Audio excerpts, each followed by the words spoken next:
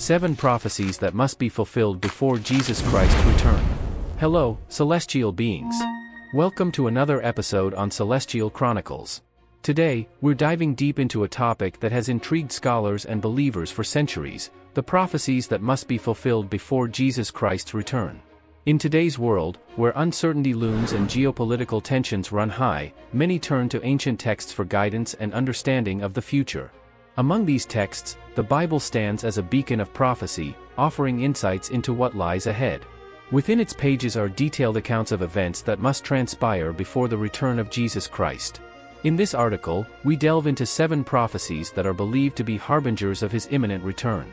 If you're fascinated by the mysteries of the universe and the minds that have dared to explore them, then Celestial Chronicles is the place for you.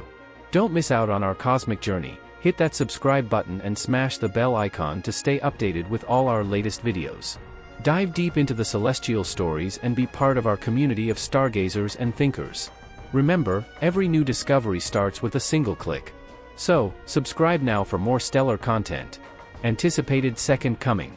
The conviction of the impending second coming of Jesus Christ forms a fundamental pillar of Christian belief, deeply anchored in the scriptures of the Bible. The New Testament is replete with allusions to his anticipated return, echoing the promises of his advent to usher in a transformative epoch of peace and righteousness. This belief is not merely a theological concept but is seen as a tangible event, the signs of which are believed to be manifest in our contemporary world. These signs, as interpreted by many believers, are viewed as the realization of prophecies that were articulated thousands of years ago. The second coming of Christ, often referred to as the parousia, is expected to mark the final judgment, where the righteous will be rewarded and the wicked punished. It is also associated with the resurrection of the dead and the establishment of God's kingdom on earth, often referred to as the New Jerusalem or Heaven on earth. The anticipation of this event inspires hope among believers, encouraging them to lead lives of righteousness, love, and humility, as they await the return of their Savior. This belief also fosters a sense of unity and community among Christians, as they collectively look forward to the fulfillment of this divine promise. Indicators of the epoch. At the heart of the expectation of Christ's second coming are the prophetic signs detailed in the Gospels of Matthew, Mark, and Luke.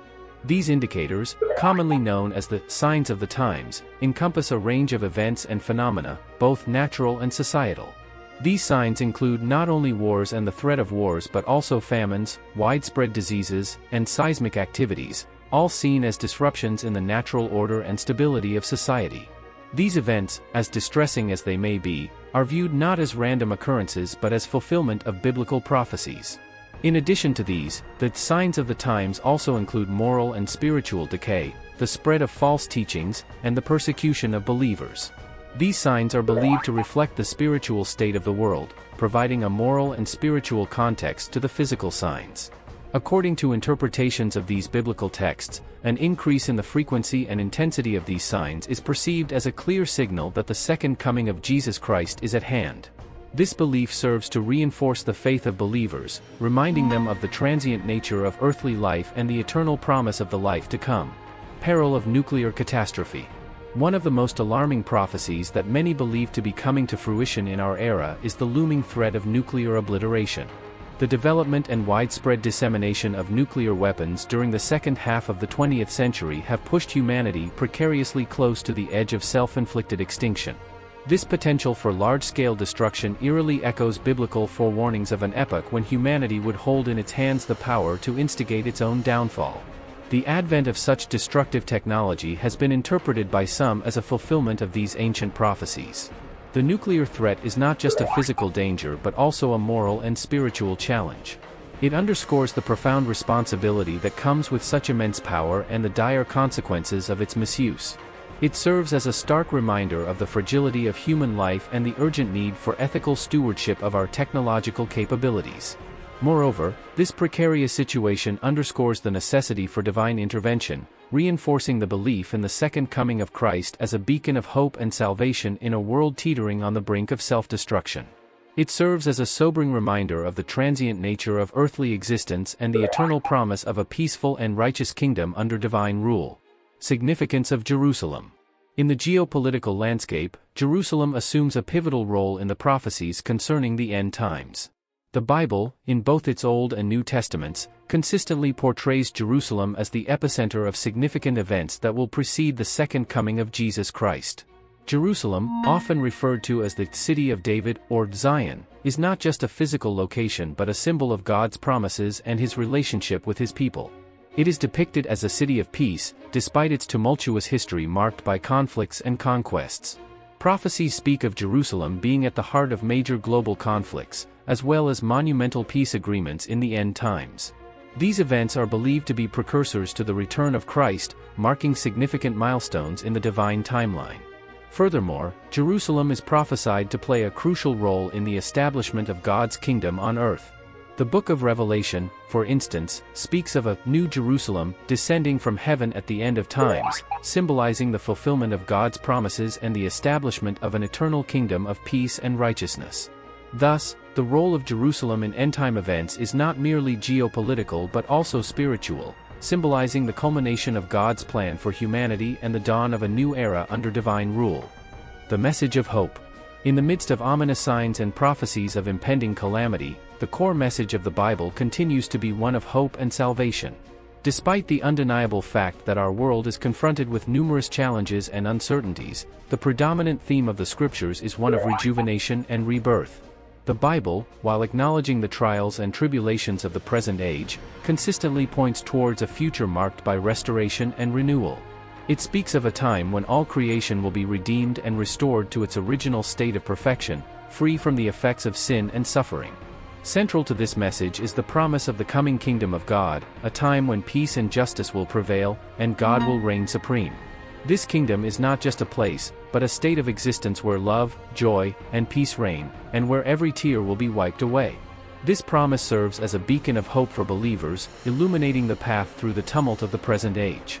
It encourages them to persevere through trials, secure in the knowledge that their present sufferings are but a prelude to the eternal joy and peace that await them in God's kingdom. Thus, amidst the prophecies of doom and gloom, the Bible offers a message of hope and redemption, a reminder that even in the darkest times, God's love and promise of salvation remain steadfast. Maintaining alertness. As we traverse the intricate labyrinth of the contemporary world, it becomes imperative to stay alert and discerning, keeping an eye on the prophetic signs of the times. The exact moment of Jesus Christ's second coming may remain a divine mystery, yet we are urged to live with a sense of immediacy and readiness. This vigilance is not one of fear, but of hopeful anticipation. It involves staying firmly anchored in faith and internalizing the wisdom imparted by the scriptures. This spiritual grounding enables us to confront the uncertainties of the future with courage and optimism. Living in such a state of preparedness involves not just recognizing the signs, but also aligning our lives with the teachings of Christ. It calls for a commitment to love, justice, and righteousness, reflecting the values of the kingdom we await. Moreover, this vigilance extends to our interactions with the world around us. We are called to be salt and light, positively influencing our surroundings even as we await the fulfillment of God's promises. Thus, as we journey through life, we do so with the assurance that the promises of God are steadfast and reliable. Amidst the flux of worldly events, we hold on to the certainty of divine faithfulness, confident in the knowledge that the ultimate fulfillment of His promises is guaranteed. Final thoughts. To sum up, the conviction in the impending second coming of Jesus Christ forms a crucial pillar of Christian belief. This belief is deeply rooted in biblical prophecies and is further reinforced by the signs of the times that we witness in our world today. From the daunting specter of nuclear catastrophe to the pivotal role of Jerusalem in global geopolitics, it appears that the stage is set for the realization of prophecies penned down thousands of years ago. These signs, as foretold in the scriptures, are believed to be precursors to the monumental event of Christ's return. However, in the face of these daunting signs and the uncertainties they bring, the Bible offers a message of hope and salvation. It assures believers of a future marked by peace and righteousness, a time when God's kingdom will be established on earth. In this context, believers are encouraged to maintain their vigilance and steadfastness in their faith. They are urged to live righteously, reflecting the values of the kingdom they await, and to remain hopeful, knowing that the fulfillment of God's promises is assured. Thus, even as we navigate the complexities of our modern world and grapple with the challenges it presents, the central message of the Christian faith remains one of unwavering hope, redemption, and the anticipated return of Jesus Christ. The article concludes with a call to remain vigilant and hopeful for redemption. As we navigate through these prophecies and signs, let's remember to stay hopeful and look forward to the coming kingdom of God. That's all for today's episode on Celestial Chronicles. Remember, the stars are always watching over us. Until next time, keep looking up.